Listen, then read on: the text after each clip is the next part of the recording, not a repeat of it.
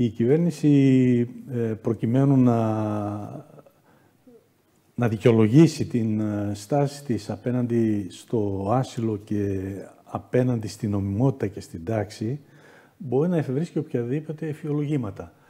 Ε, είναι γεγονός ότι χαϊδεύει την αναρχία, χαϊδεύει το, ριβούκο, το Ρουβίκονα, χαϊδεύει τους κουκουλοφόρους και τους αναρχικούς και τα αποτέλεσματα είναι αυτά δεν δίνει εντολές ε, στο, στα, στην αστυνομία να ασκήσουν το καθήκον τους, δηλαδή να επιβάλλουν την τάξη και όταν λέμε να επιβάλλουμε την τάξη δεν εννοούμε να, να βιοπραγούν. Υπάρχει τρόπος η αστυνομία να επιβάλλει την τάξη αν έχει τις ανάλογες αντολές. Είναι ευθύνη της κυβέρνησης όλα αυτά που συμβαίνουν και είναι ευθύνη της κυβέρνησης να θέσει τέρμα σε αυτά που ζει σήμερα η χώρα μας.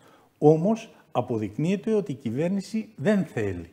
Θέλουν με αυτόν τον τρόπο να στείλουν ένα μήνυμα σε αυτό το 3% που ήταν ο ΣΥΡΙΖΑ και να τους πούνε κοιτάξτε να δείτε, εμείς μπορούμε να παίρνουμε ε, σκληρά μέτρα οικονομικά, αλλά ε, την ιδεολογία μας ε, την τηρούμε. Αυτή ήταν ο Τσίπρας δεν ήταν που είχε πει νομίζω από την ε, Μητυλίνη ότι θα καταργήσει τα ΜΑΤ και θα αποπλήσει τους αστυνομικούς. Αυτή ήταν η... Αυτό το ναι. μήνυμα στέλνεις σε αυτούς τώρα συντηρώντας την ανομία, διότι δεν υπάρχει λογική